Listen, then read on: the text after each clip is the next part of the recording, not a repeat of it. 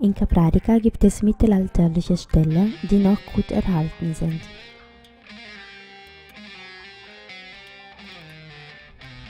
Hier kamen die Tiere an, wurden gefüttert und ruhten sich aus.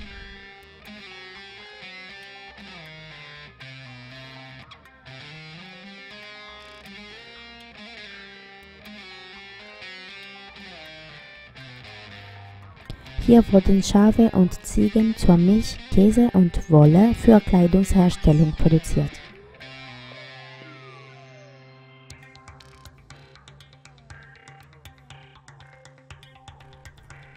Die Frauen waren gewohnt, im Winter in diesen Räumen zu arbeiten, denn die Tiere erwärmten sie mit ihrem Atem.